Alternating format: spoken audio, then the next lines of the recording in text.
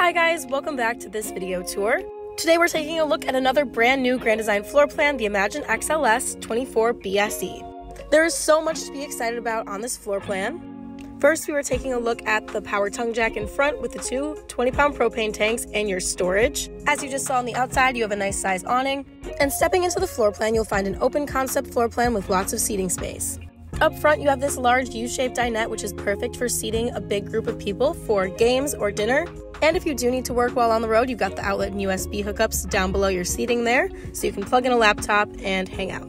In your slide, you have recliners, and the window placement here is great for letting in some natural airflow on a nice day. Across from that, you have your TV, some storage space, and a pop up USB hookup. Take a look at all of your kitchen storage. Here you have your farmhouse style sink, and here's a view of some of the storage space that you've got in the kitchen. And in the corner here, you have your oven, your three burner gas stovetop, and microwave. Across from that, your 12 volt refrigerator and freezer. And a pantry next to your refrigerator, which is great for some extra storage space. Moving down into this hallway behind a pocket door, you have your bathroom with an outside entrance right into the bathroom.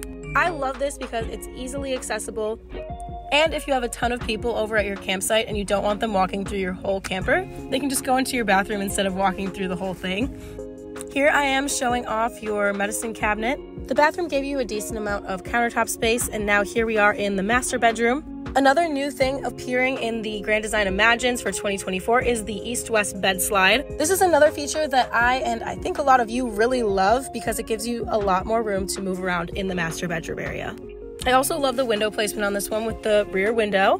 What do you think of this floor plan? Let me know. Thanks for watching.